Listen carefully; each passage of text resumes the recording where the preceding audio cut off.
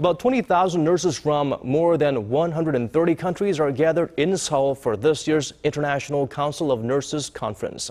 While the focal point of the conference will be the global nursing community joining efforts to ensure health and safety around the world, it should be interesting to see what speakers like the WHO Director General Margaret Chan will have to say about the MERS outbreak in Korea.